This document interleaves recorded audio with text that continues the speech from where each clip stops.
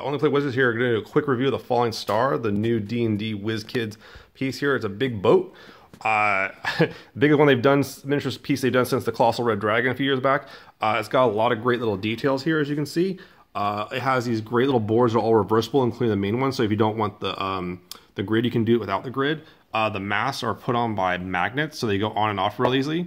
They have full fabric with uh, great little uh, details like the crow's nest. Uh, you can see that there's a you know little uh, boat wheel and everything, no problem. You can have the miniatures also even go on the stairs uh, quite nicely. They fit in there really perfectly. I haven't seen a piece like that for a while. Uh, it also has the below the deck uh, board, so if you want to do some action there, you can't really see it too well, but there's uh, rooms on there and there's two of them, and they're both reversible. Uh, I gotta say, this thing's I'm pretty excited about to play with. I expect to see it on my Instagram feed quite a bit in the future months with my players. I'm sure they're gonna want to sail the seas. But thanks a lot for watching.